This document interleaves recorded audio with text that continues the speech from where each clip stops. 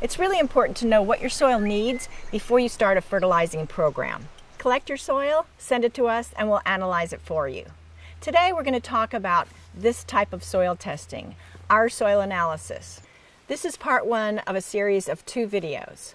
Today we're going to talk about the terms and definitions found in your soil analysis, which will help you understand how to move forward.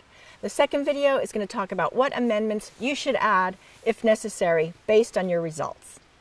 Your soil analysis comes with a booklet called Understanding Your Soil Analysis Report. So get out your soil results and your booklet and follow along to learn how to understand the analysis. At first glance, your soil analysis results can look like a bunch of overwhelming numbers and ratios on a graph. But these numbers all relate to each other and should be considered a whole when determining your soil needs. The first part to consider is the chart of nutrient levels. On this chart, you will see the amount of each of the micro and macronutrients, as well as organic matter. And if you opted for the complete soil analysis, the trace minerals as well. The chart includes both the concentration of each nutrient and a bar graph showing whether that value is high or low. This chart is a large part of your soil fertility puzzle, but it's not the whole picture. Just because you're high or low in a certain nutrient doesn't mean that you have to go ahead and add that. There are more things to consider. The second part is the percent cation saturation, which shows the numerical percent of positively charged nutrients called cations, and also a bar graph of these numbers.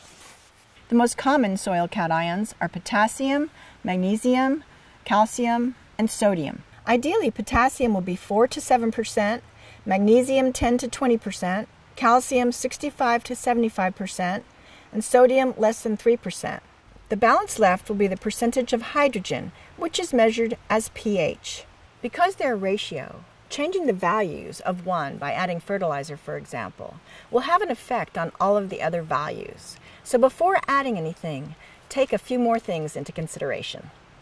For example, if your calcium is low in the first nutrient chart, adding high calcium fertilizer will also raise its cation saturation percentage and lower the percentages for the others, including raising your soil pH.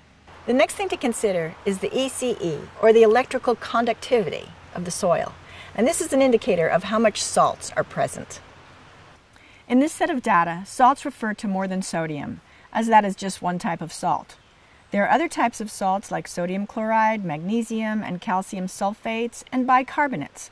There are many reasons that soils become salty, including adding lots of manures, which are high in numerous kinds of salts, having a hard pan or poor drainage, that prevents salts from washing out of the soil, and irrigating with water that is high in minerals.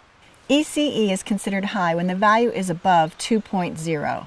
High ECE will negatively affect crop yields. It restricts nutrient availability and soil microorganisms.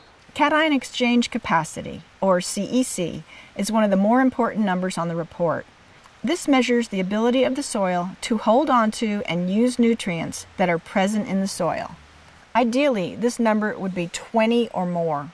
If it is lower, it will improve over time as you improve the overall soil health and quality. Good CEC is found where soil health is excellent and is related to factors such as good microbial activity and organic matter content. When looking at your nutrient levels and deciding how much fertilizer to add, consider your CEC level. A good CEC will hold the nutrients in the soil so your plants can use them over an extended period of time. It will also buffer your soil against changes in nutrients, so you will see a slow, delayed effect when trying to correct any imbalances. On the other hand, a low CEC soil cannot hold on to the nutrients when you fertilize. Whatever your plants do not quickly use will be leached out of the soil like pouring fertilizers into a leaky bucket. To fertilize a low CEC soil, you'll need to add small amounts of fertilizer frequently instead of trying to fix your nutrient levels all at once. Excess lime is usually not a problem, but if you have H in this box, then you have high lime and it can be disastrous for the health of your garden. You've been probably adding too much calcium fertilizer if that's the case. If you have an L, it means it's low and no corrective action is required. Lime is usually added in the form of high calcium fertilizers, and high lime will also usually be reflected in a high calcium nutrient level, as well as an alkaline pH, which is a high pH. The pH reading is probably the most misunderstood reading.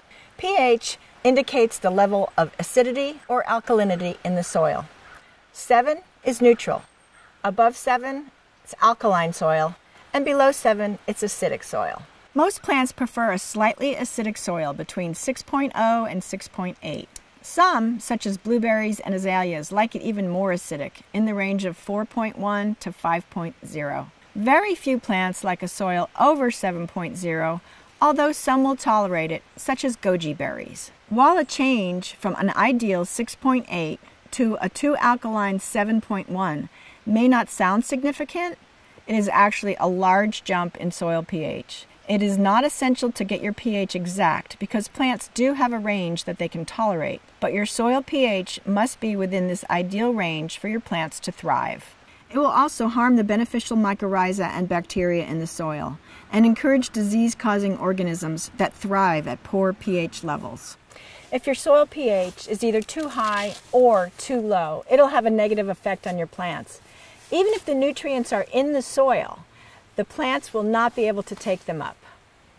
If your soil pH is either too high or too low, correct it very slowly over a long period of time. Going back and forth between too acidic and too alkaline is worse for your plants than doing nothing at all. Now that we understand all the terms and definitions of the soil analysis report, we can go on to step two, how to take care of any problems we might have. So enjoy and grow organic for life.